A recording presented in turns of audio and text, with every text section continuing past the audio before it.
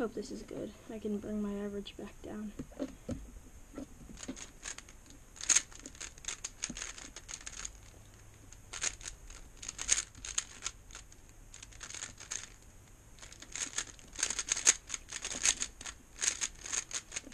Yes!